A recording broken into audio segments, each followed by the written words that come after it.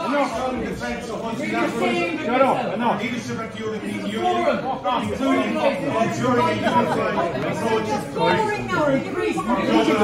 We're going come here and listen to you. Come on. the record levels of overseas development aid that we have provided.